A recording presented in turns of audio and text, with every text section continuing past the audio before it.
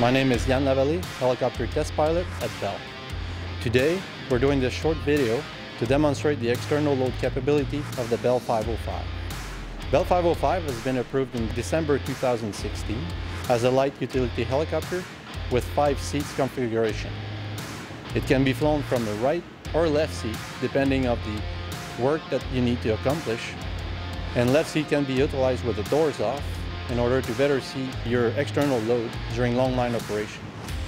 Today's demonstration aircraft is equipped with air conditioning and leather seat and multiple, multiple kits making it about 100 pounds heavier than a utility aircraft, but it will still be able to lift four drums of jet beef with the net for a total load of 1,660 pounds.